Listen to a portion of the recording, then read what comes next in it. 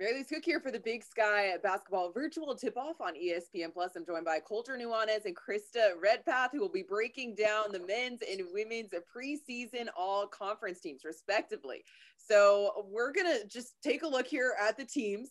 We'll start, Krista, with you. Is there anyone you feel was left off of the preseason all-conference team? I don't think there was anyone left off when I look at it. It's these polls are exciting to get the season started.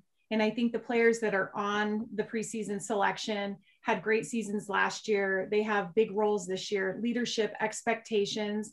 I think there's a few players that would they have been on this list um, wouldn't have been surprising. I think Cher- Cherita Doherty out of Southern Utah, Summer Menke at Sac State.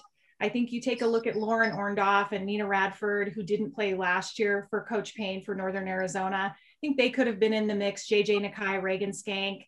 Uh, Montana, I feel Abby Anderson could also be in the mix um, with a Carmen Gfeller because they're such a great four or five uh, punch. But for the most part, I think that they got it right. All right. Now, Colter, what about on the men's side? Anyone that you feel was left off? Well, I know this is a common narrative from the conversation that we had earlier, but it's just a bizarre experience when you look at a preseason list and there's not a guy from Montana on there. I mean, Montana's won the big sky, what, 13, 14 times? I mean, they are the storied program in the league other than Weber State. And so uh, I think more, though, it's not necessarily a testament to any sort of downgrade of Montana's program. I think it's actually a testament to the team that Travis DeCuire has put together. They have a bunch of guys that are are blossoming stars. None have taken a hold of that yet. I don't really know if that'll actually even happen because he, Travis DeCuire wants to run sort of a no star system, which I think is actually very conducive to the style he wants to play, but there's a lot of guys at Montana, whether it's Josh Vasquez or Robbie Beasley or Kyle Owens or Derek Carter Hollinger, that are ready to break out. And so we'll see if any of those guys are there toward the end. But other than that, you know, I was actually a little bit surprised that Tevian Jones was the MVP. I think he's a tremendous player. I think he's one of the best players in the league.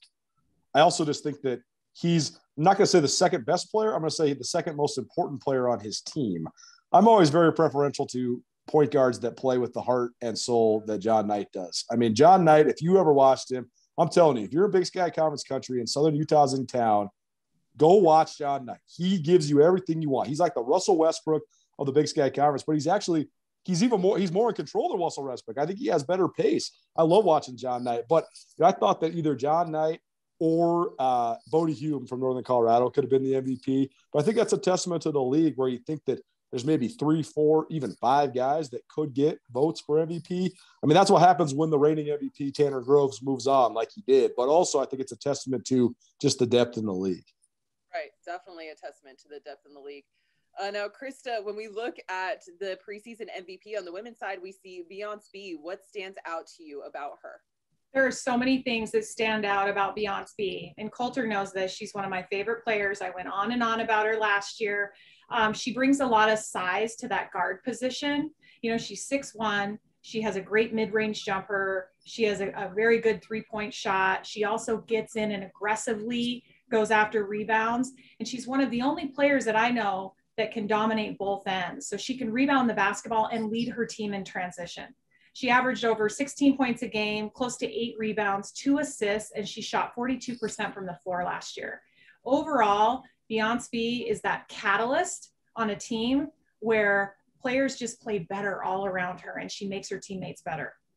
I think that definitely makes someone worthy of being the preseason MVP for sure. Now, Colter, you talked about his teammate, uh, John Knight, but what about Tevian Jones? What about our, our MVP on the men's side? What stands out to you about him?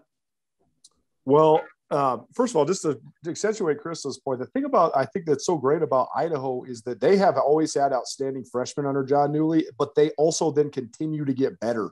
Oftentimes, we see freshmen sort of get stuck, especially in the women's league, and not reach that MVP level until later on in their careers, if at all. And Beyonce went from outstanding freshman to now an outstanding player, one of the best in the league.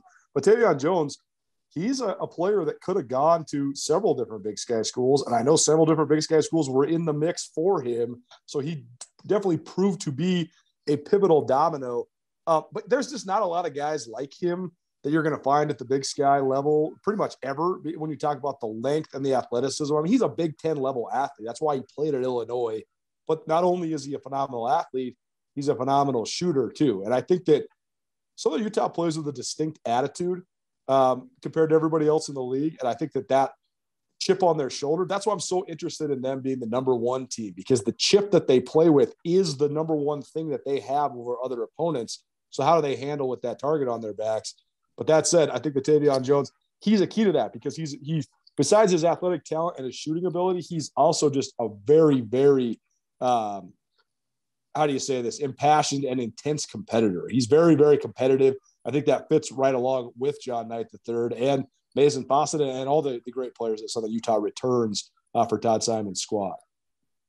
Krista, now Idaho State women, they're the only team with two players represented on the preseason all conference team. What does that say about the balanced approach the team takes to success?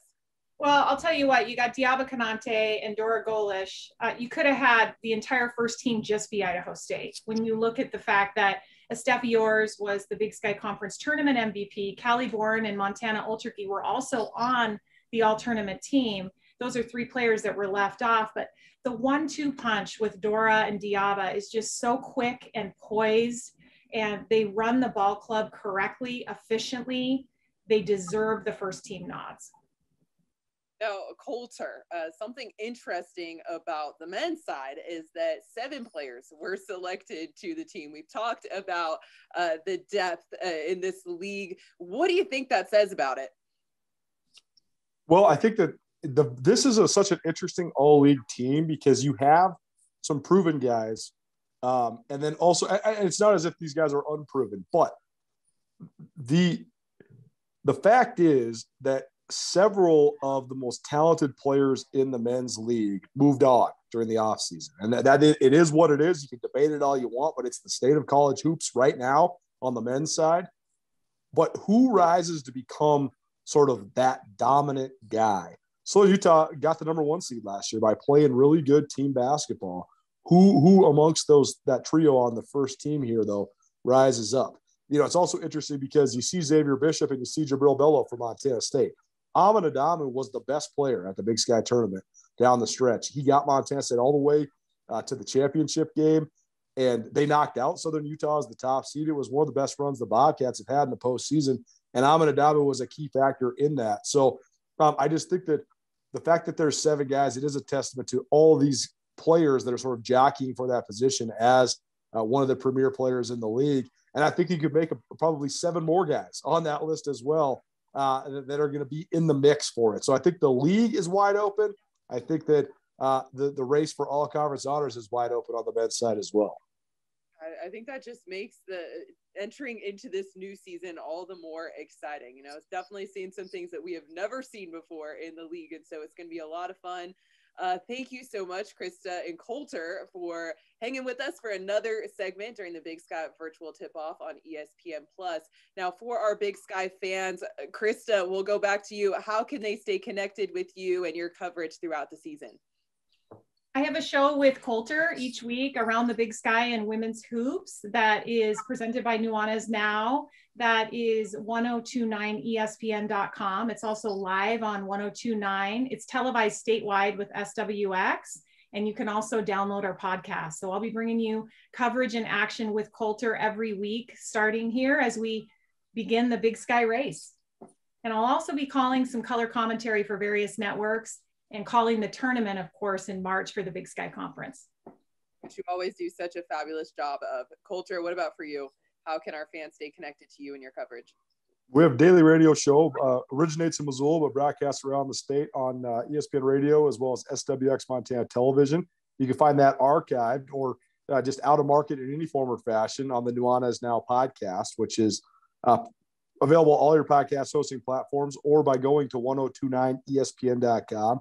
We'll also have feature stories and analysis and, and other podcasts throughout the, the fall and winter as well at skylinesportsmt.com. So we'll have daily coverage there as well. And I'm very much excited for all of it because I think it's going to be a fun and exciting year of Big Sky Conference basketball. That's for sure. Thank you so much, Colter and Krista, for joining us. This is the Big Sky virtual tip off here on ESPN Plus.